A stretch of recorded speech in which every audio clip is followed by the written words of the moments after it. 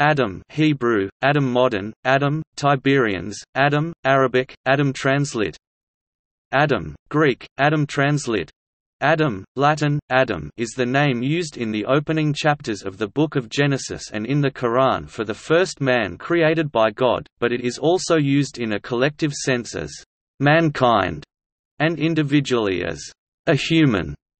Biblical Adam man, mankind is created from Adamah uh, earth, and Genesis chapters 1 to 8 makes considerable play of the bond between them, for Adam is estranged from the earth through his disobedience.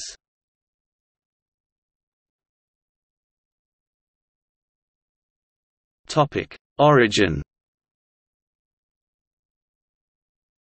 The majority view among scholars is that the Book of Genesis dates from the Persian period the 5th and 4th centuries BCE, but the absence from the rest of the Hebrew Bible of all the other characters and incidents mentioned in chapters 1 to 11 of Genesis, Adam appears only in chapters 1 to 5, with the exception of a mention at the beginning of the books of Chronicles where, as in Genesis, he heads the list of Israel's ancestors has led a sizable minority to the conclusion that Genesis chapters 1 to 11 was composed much later, possibly in the 3rd century BCE.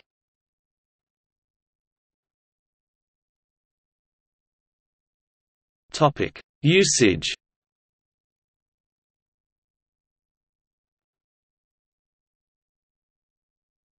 Topic: Mankind, human being, male individual. The Bible uses the word Adam, Adam in all of its senses, collectively, mankind. Genesis chapter 1 verse 27, individually a man Genesis chapter 2 verse 7, gender nonspecific, man and woman. Genesis chapter 5 verses 1 to 2 and male Genesis chapter 2 verses 23 to 24. In Genesis chapter 1 verse 27, Adam is used in the collective sense and the interplay between the individual Adam and the collective humankind is a main literary component to the events that occur in the Garden of Eden, the ambiguous meanings embedded throughout the moral, sexual, and spiritual terms of the narrative reflecting the complexity of the human condition.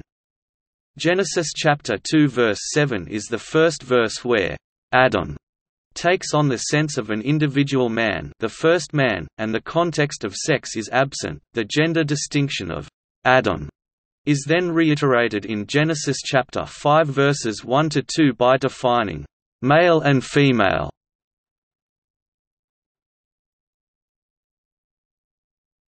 Topic: Connection to the earth. A recurring literary motif is the bond between Adam and the earth Adamah. God creates Adam by molding him out of clay in the final stages of the creation narrative. After the loss of innocence, God curses Adam and the earth as punishment for his disobedience. Adam and humanity is cursed to die and return to the earth or ground from which he was formed. This earthly aspect is a component of Adam's identity, and Adam's curse of estrangement from the earth seems to describe humankind's divided nature of being earthly yet separated from nature.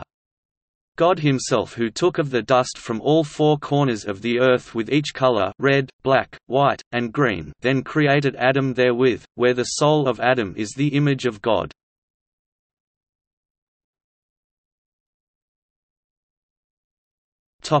In the Hebrew Bible Old Testament Genesis chapter 1 tells of God's creation of the world and its creatures, with humankind as the last of his creatures. Male and female created he them, and blessed them, and called their name Adam. Genesis chapter 5 verse 2. God blesses mankind, commands them to be fruitful and multiply, and gives them dominion over the fish of the sea, and over the fowl of the air, and over the cattle, and over all the earth, and over every creeping thing that creepeth upon the earth." Genesis 1.26–27 In Genesis chapter 2, God forms Adam, this time meaning a single male human, out of the dust of the ground, and breathed into his nostrils the breath of life. Genesis chapter 2 verse 7. God then places this first man in the Garden of Eden, telling him that, of every tree of the garden thou mayest freely eat, but of the tree of the knowledge of good and evil, thou shalt not eat of it, for in the day that thou eatest thereof thou shalt surely die. Genesis chapter 2 verses 16 to 17. God notes that, It is not good that the man should be alone, Genesis chapter 2 verse 18 and brings the animals to Adam, who gives them their names, but among all the animals there was not found a companion for him Genesis chapter 2 verse 20. God causes a deep sleep to fall upon Adam and forms a woman Genesis chapter 2 verses 21 to 22, and Adam awakes and greets her as his helpmate. Genesis chapter 3, the story of the fall, a serpent persuades the woman to disobey God's command and eat of the tree of knowledge, which gives wisdom. Woman convinces Adam to do likewise, whereupon they become conscious of their nakedness, cover themselves, and hide from the sight of God. God questions Adam, who blames the woman. God passes judgment, first upon the serpent, condemned to go on his belly, then the woman, condemned to pain in childbirth and subordination to her husband, and finally Adam, who is condemned to labor on the earth for his food and to return to it on his death. God then expels the man and woman from the garden, lest they eat of the tree of life and become immortal. The chiastic structure of the death oracle given to Adam in Genesis chapter 3 verse 19 forms a link between man's creation from dust Genesis chapter 2 verse 7 to the return of his beginnings. A you return? B to the ground. C since key from it you were taken. C for key dust you are. B and to dust a you will return Genesis 4 deals with the birth of Adam's sons Cain and Abel and the story of the first murder, followed by the birth of a third son, Seth. Genesis chapter 5, the book of the generations of Adam, lists the descendants of Adam from Seth to Noah with their ages at the birth of their first sons except Adam himself, for whom his age at the birth of Seth, his third son, is given and their ages at death Adam lives 930 years. The chapter notes that Adam had other sons and daughters after Seth, but does not name them.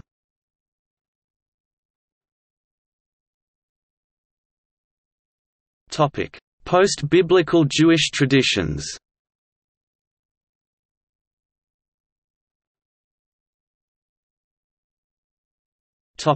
Body Adam possessed a body of light, identical to the light created by God on the first day. According to Jewish mystical tradition the original glory of Adam can be regained through mystical contemplation of God.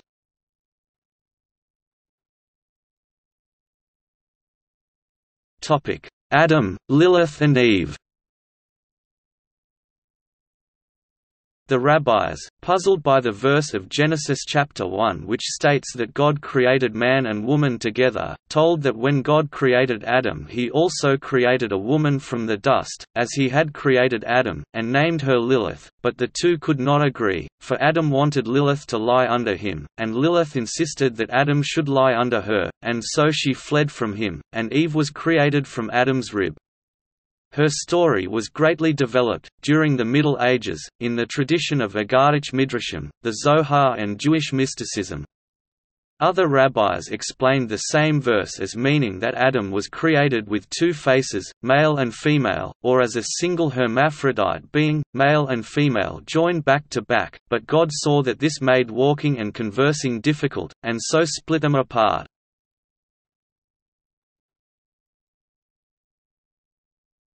Topic: Original sin.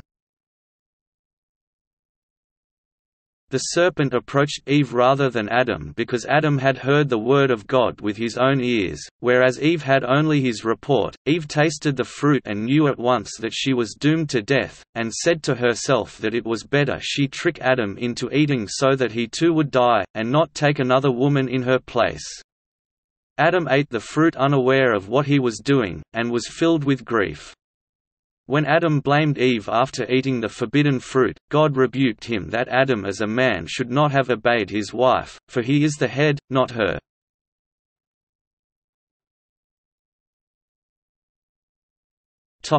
Children of Adam and Eve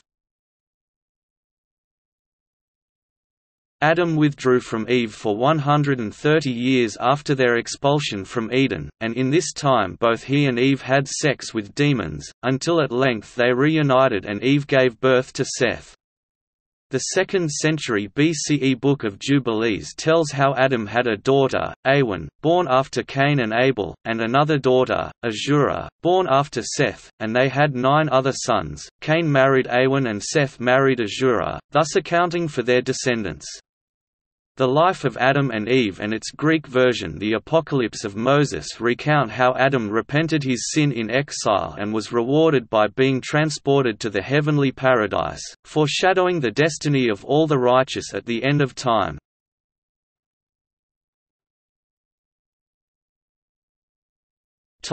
Adam's death and burial The archangel Michael attended Adam's death, together with Eve and his son Seth, still living at that time, and he was buried together with his murdered son Abel. Because they repented, God gave Adam and Eve garments of light, and similar garments will clothe the Messiah when he comes. According to the Apocalypse of Moses, which probably originates in 1st century CE Jewish literature, the altar of the Temple of Solomon was the center of the world and the gateway to God's Garden of Eden, and it was here that Adam was both created and buried.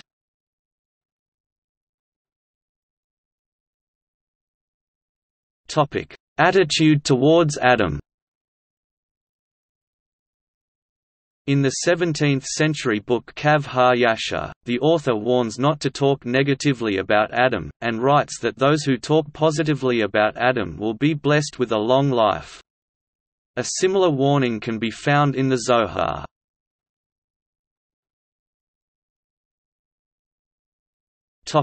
Adam and the angel Raziel The Sefer Raziel Raziel the Angel is a collection of esoteric writings, probably compiled and edited by the same hand, but originally not the work of one author, which according to tradition was revealed to Adam by the angel Raziel. The book cannot be shown to predate the 13th century, but may in parts date back to late antiquity, and like other obscure ancient texts such as the Bahir and Sefer Yetzirah, it has been extant in a number of versions. Zunz. G. v. 2d ed. p. 176 distinguishes three main parts, 1 the Book Ha-Malbish, 2 the Great Raziel, 3 the Book of Secrets, or the Book of Noah. These three parts are still distinguishable. 2b7a, 7b33b, 34a and b. After these follow two shorter parts entitled, "'Creation' and "'Shiur Koma' and after 41a come formulas for amulets and incantations.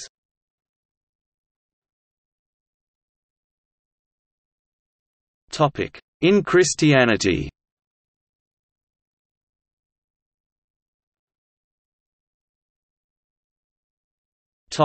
Original sin. Christianity sees human nature as irrevocably stained by the sin of Adam. The idea is not found in Judaism nor in Islam, and was introduced by the Apostle Paul, drawing on currents in Hellenistic Jewish thought which held that Adam's sin had introduced death and sin into the world. Sin, for Paul, was a power to which all humans are subject, but Christ's coming held out the means by which the righteous would be restored to the paradise from which Adam's sin had banished mankind. He did not conceive of this original sin of Adam as being biologically transmitted or that later generations were to be punished for the deeds of a remote ancestor. It was Saint Augustine who took this step, locating sin itself in male semen. When Adam and Eve ate of the fruit, they were ashamed and covered their genitals, identifying the place from which the first sin was passed on to all succeeding generations. Only Jesus Christ, who was not conceived by human semen, was free of the stain passed down from Adam. Augustine's idea was based on the ancient world's ideas on biology, according to which male sperm contained the entire unborn baby, the mother's womb being no more than a nurturing chamber in which it grew.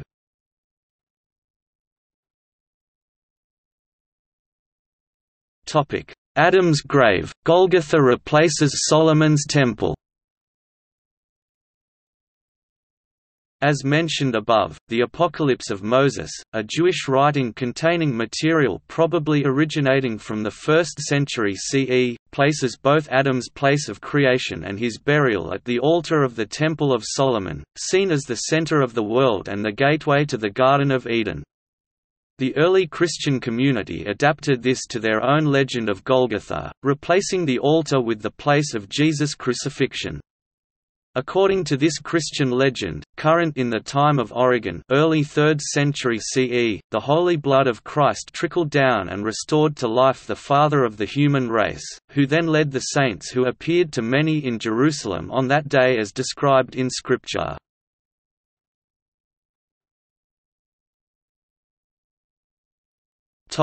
In Islam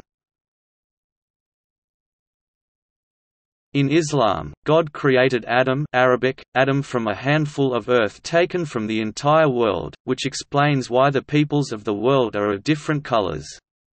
He was the first prophet of Islam and the first Muslim, as the Quran says that all the prophets preached the same faith of submission to God. When God informed the angels that he would create a viceregent a on earth the angels objected, saying he would spread corruption and bloodshed, but God allowed Adam to reveal the names of the beasts to the angels, saying, I Adam know what you God reveal and what you conceal. The scholar al-Tabari explained that Adam was referring to the evil plans of Iblis Satan. Adam and Eve both ate of the tree of immortality, and both shared guilt equally, for Eve neither tempted Adam or ate before him, nor is Eve to blame for the pain of childbirth, for God never punishes one person for the sins of another.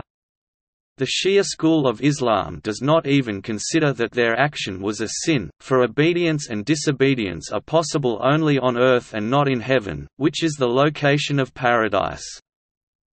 Adam fell on a mountain in India, the tallest in the world and so the closest to heaven, and from there God sent him to Mecca, where he repented and was forgiven.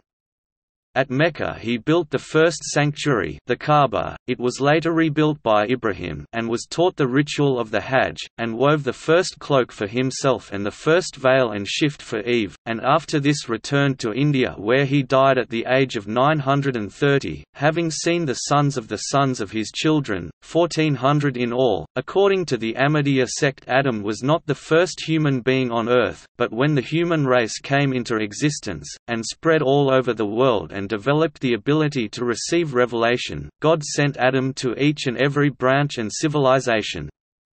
According to a revelation received by Mirza Ghulam Ahmad, the founder of the community, the Adam mentioned in the Quran was born 4598 years before Muhammad. In the Quran, Adam is given the name by God known as the Adam i Safi or the Chosen One.